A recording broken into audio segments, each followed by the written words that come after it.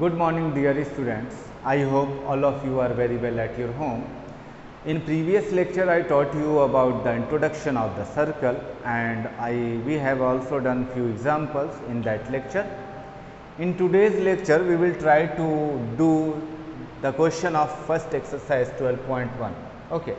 So, you can see the first question on your screen the radii of two circles are 19 centimeter and 9 centimeter respectively Find the radius of the circle which has circumference equal to the sum of the circumference of other two circles. Okay. So, let us see how can we solve it. Listen carefully. Here we need to find the radius of the circle say R1. We are going to find R1 whose circumference say C1 is equal to the other circumference is equal to the sum of the circumference of other two circle. It means circumference of circle 2 plus circumference of circle 3. Okay. So, the radius is r 2, r 2 has given 9 centimeter and r 3 is given 19 centimeter. Okay. Listen carefully. Here the relationship which has given the circumference of the product circle yani the new circle is equal to the sum of the circumference of given two circles. Is that clear? Now, find out. So, we may write here C1 is equal to C2 plus C3. What is C? C is stand for circumference so, the formula of the circumference is 2 pi r. So, in C1 r is r1. So, we need to find r1. In C2 2 pi r2 plus 2 pi r3. In these two terms you can see here 2 pi can be considered as common. So, 2 pi r1 is equal to 2 pi r2 plus r3. So, now 2 pi to 2 pi cancel so, R1 is equal to what is the value of R2 9 and the value of R3 19. Okay. So, the result will be 28 centimeter. I hope all of you have understood this question clearly. Okay. Come for the next question. Now, you can see the second question on your screen. Question asks the uh, radii of two circles are 8 centimeter and 6 centimeter respectively. Find the radius of the circle having area equal to the sum of the areas of the two circles. Okay. Same question as question number 1. So, first of all you can do separately like this area of first circle. Okay. Area or you may do through the diagram. So, we can draw here two diagrams like this. So, the radius of the first circle is 8 centimeter. Okay. 8 centimeter say r1 plus the radius of the second circle is 6 centimeter say r2 okay we need to add the area of these two circles so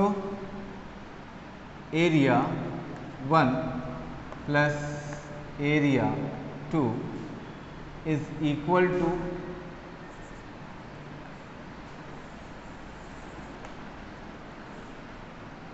say R3 we need to find this radius area 3 okay जैसा कि पहले question में हम लोगों ने circumference के relationship को देखा था यहाँ पर हमने क्या देखना एरिया का relationship the area find the radius of the circle having area equal to the sum of the area of given two circle okay so we can write here a three it means area three is equal to area one plus area two what is the formula of area of the circle pi r square so we may write here pi r 3 square is equal to pi r 1 square plus pi r 2 square. In the given situation we can see we can take common as a pi. So, pi r 3 square is equal to pi r 1 square plus r 2 square pi to pi cancel and all of you know when you will transpose this square from left to right it will become a square root. So, R 3 is equal to the square root of what is R 1? R 1 is 8 centimeter. So, 8 square and R 2 is 6 centimeter 6 square. Okay. So, it means 64 plus 36 which give us 100 and the square root of 100 is 10 centimeter. So, the radius of the new circle whose area is equal to the area of other two circle is 10 centimeter. I hope all of you have understood clearly. Okay. You may also do in separate format like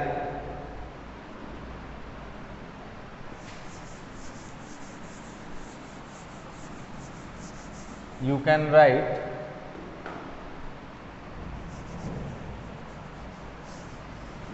area of first circle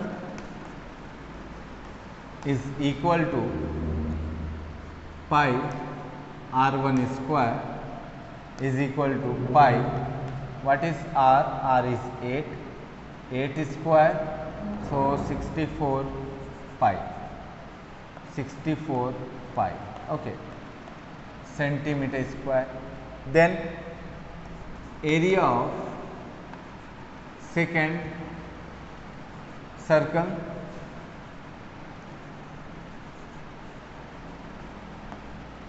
Pi r2 square, so pi 6 square, which is equal to 36 pi centimeter square. Okay. According to question, the new circle, area of new circle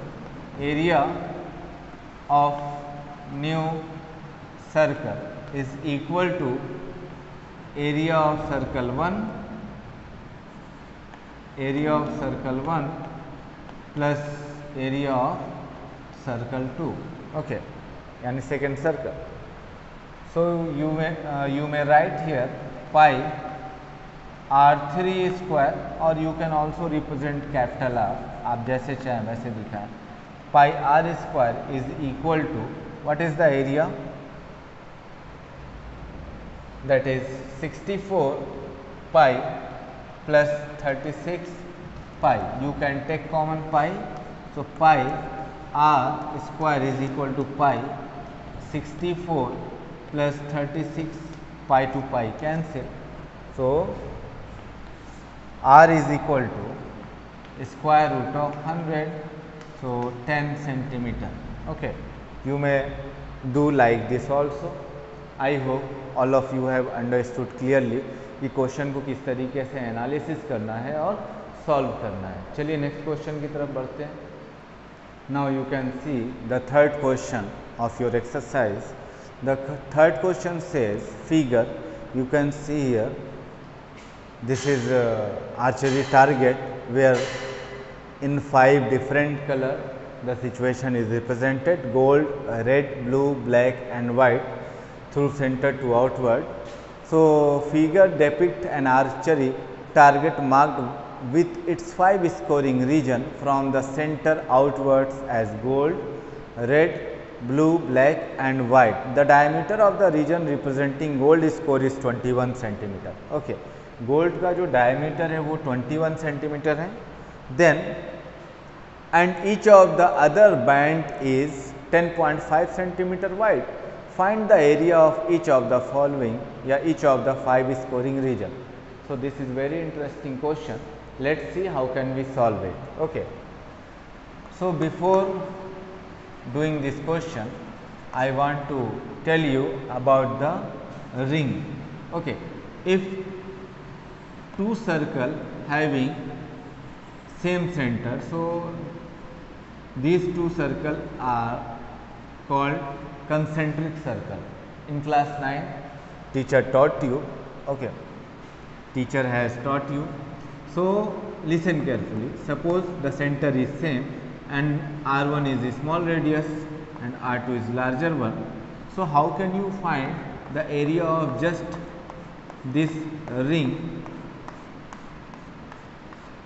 So, very easy. First of all, we need to find the area of large circle then we need to find the area of a small circle then subtract from large to small then we will get the region like this but isko formula mein kaise karenge to area of ring area of ring is equal to area of large circle pi इसको हम लोग capital R से represent कर सकते हैं इसको small are से okay pi are square इसमें से क्या करना है छोटे वाले सर्कल को घटा देना है minus pi r square pi common ले लेंगे आप we will take common pi as a common then r square minus r square now you can relate this situation with algebraic identity a square minus b square so you may write pi r plus r and r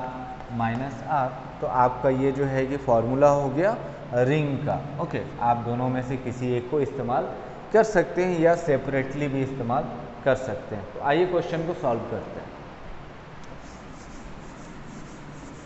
area of gold तो gold तो just एक circle है तो आपने काफ़ी आसानी से पता कर लेना है area of gold region gold region is equal to pi r square okay so 22 by 7 into आप किताब में देख लें 22 बाई सेवन यूज़ करना है या 3.14 तो कुछ लिखा नहीं है 22 बाई सेवन यूज़ करते हैं 22 by seven into what is r तो here you can see The diameter of the region representing gold scoring is 21 centimeter. So, 21 centimeter is diameter.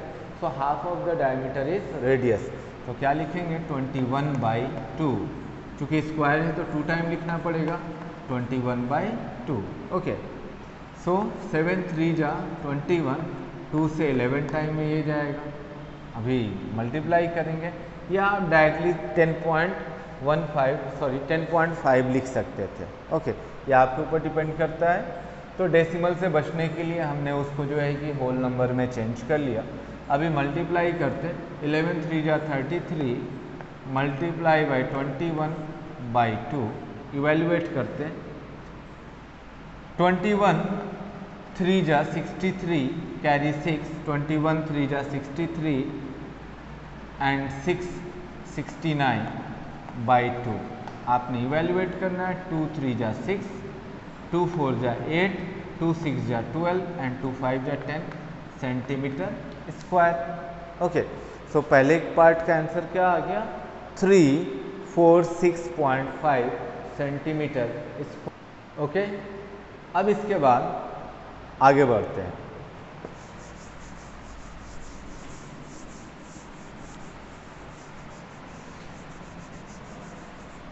Now, the next region is red region.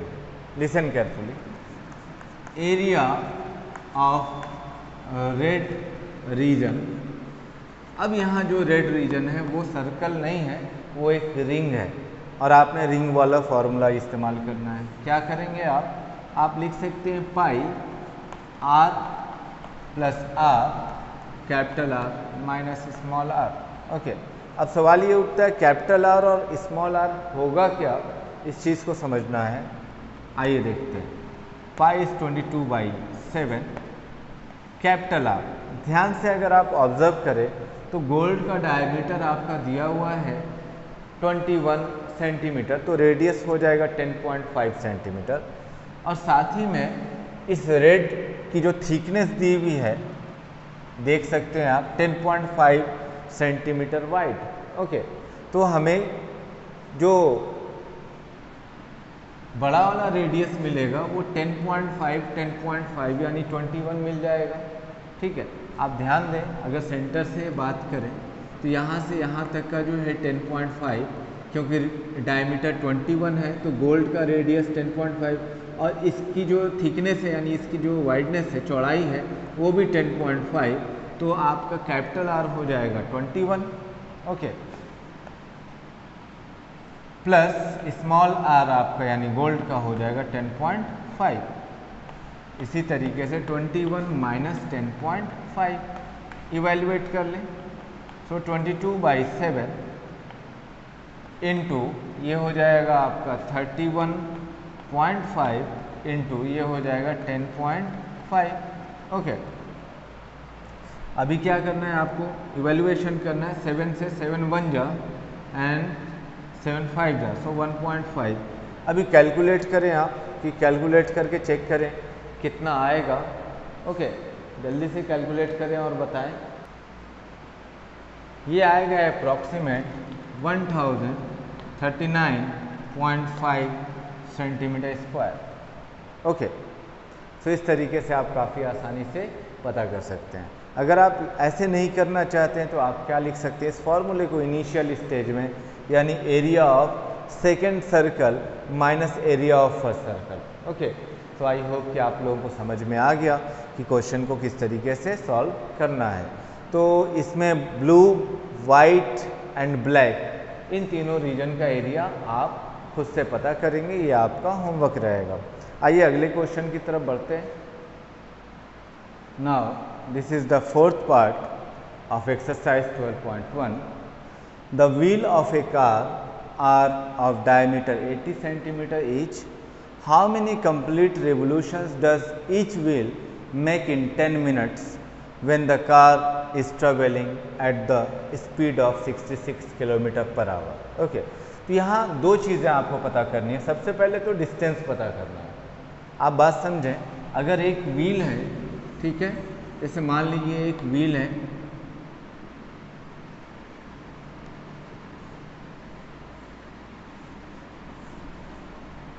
तो ये जब revolution करती है rotation करती है अपने axis पे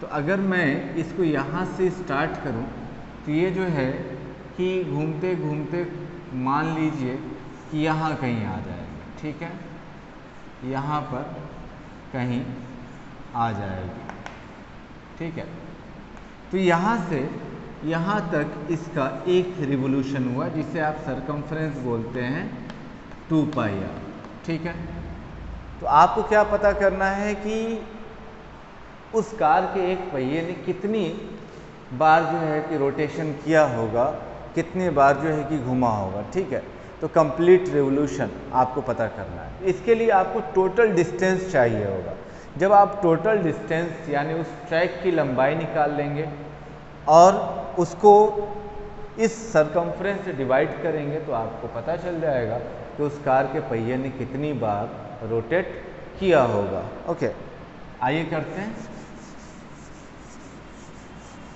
सबसे पहला काम हमने डिस्टेंस पता करना है ओके सो इन सोल्यूशन आपने यूनिट को फोकस करना है ये सेंटीमीटर में है ये मिनट में है ये किलोमीटर पर आवर में ठीक है तो आप जो है मिनट रहने दें इसको चेंज कर लें centimeter so so, 66 kilometer per hour तो आप क्या कर सकते हैं एक किलोमीटर में आपने पता करना है तो एक किलोमीटर में होता है 1000 मीटर और 1000 मीटर में 100 सेंटी वन मीटर में 100 सेंटीमीटर ओके एक घंटे में 60 मिनट तो मिनट में रहने से सफिशियंट है तो इस तरीके से आपने चेंज कर लेना है one zero two one zero cancel और ये एलेवन टाइम है तो आपका हो जाएगा eleven four time zero centimetre per minute ये स्पीड आ गई ओके आपको यूनिट कन्वर्जन आना चाहिए जो क्लास सिक्स सेवन एट में आपने पढ़ा होगा कि किस तरीके से यूनिट्स को बदला जाता है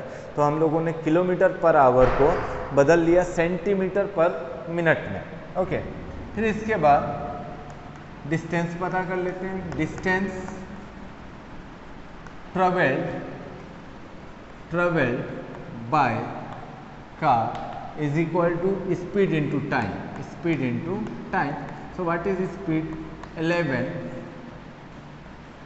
4 times 0 into time is 10 minutes. So, 11 5 times 0 centimeter. Okay. Now, we are going to find the circumference of the circle. Okay.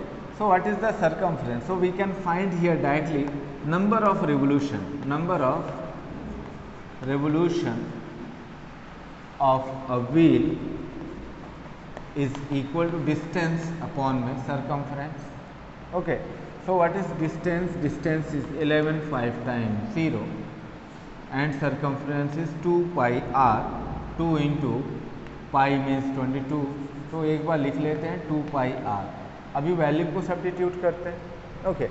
80 centimetre is diameter इसको याद रखें आप 2r को d भी लिख सकते हैं 80 भी लिख सकते हैं ठीक है now five times zero into अब इसको अलग अलग लिख लें आप टू को लिख सकते हैं वन बाई टू पाई को लिख सकते हैं सेवन बाई ट्वेंटी वन और आर आपका दिया हुआ है forty centimetre half of diameter forty okay evaluate करें एलेवन टू जा okay so two two four four four जा सिक्सटीन वन सिक्सटी तो आप देख लें क्या आ रहा है तो आपने जो है कि फिर इसको इवेलुएट करना है ट्राई करें इवेलुएट करके अप्रॉक्सीमेट 4375 रिवोल्यूशन ये आएगा ओके इसको आप इवेलुएट करेंगे तब तो आई होप कि आप लोगों को समझ में आ रहा होगा कि क्वेश्चन को किस तरीके से सॉल्व करना है ओके okay. सो so, इसी के साथ फर्स्ट एक्सरसाइज हम लोगों ने कंप्लीट कर लिया अगले लेक्चर में हम लोगों ने डिस्कस करना है एरिया ऑफ सेक्टर सबसे पहले सेक्टर के बारे में समझेंगे कि सेक्टर ऑफ द सर्कल कहते किसे हैं फिर उसका एरिया किस तरीके से फाइंड करते हैं और देन उससे रिलेटेड एक्सरसाइज के बारे में हम लोगों ने डिस्कस करना है area of sector area of segment and then exercise 12.2 okay तो थैंक यू फॉर वॉचिंग मिलते हैं